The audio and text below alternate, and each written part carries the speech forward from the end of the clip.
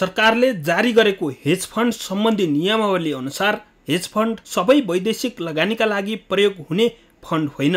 नेपाल राष्ट्र बैङ्कका अनुसार विभिन्न चार क्षेत्रमा आउने वैदेशिक लगानी हेज फन्डमा सहभागी हुन सक्छन्। हेजिङ सुविधा उपलब्ध हुने क्षेत्रहरू एक सय मेगावट वा सोभन्दा बढी क्षमताका जलविद्युत उत्पादन दुई सय बिस केबिए वा सोभन्दा बढी क्षमताका तिस किलोमिटरभन्दा लामो विद्युत प्रसारण लाइन निर्माण दस किलोमिटरभन्दा लामो रेल मेट्रो तथा मोनोरेल मार्ग निर्माण पचास किलोमिटरभन्दा लामो द्रुत मार्ग निर्माण।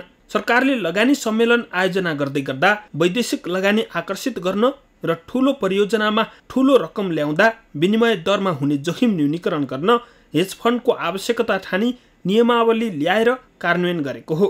तर तोकिएका क्षेत्र बाहेक अन्य क्षेत्रमा लगानी ल्याउँदा हेजिङ फन्डमा सहभागी हुन मन्त्री परिषदले तोक्नुपर्ने व्यवस्था गरेपछि भने अन्य क्षेत्रमा आउने लगानी र सानो आकारमा आउने लगानीले भने सहभागिता जनाउन पाउने छैनन्।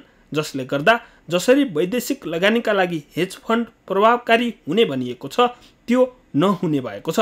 यसमा बैङ्क तथा वित्तीय संस्थाले ल्याउने कर्जा समेत समावेश हुने छैन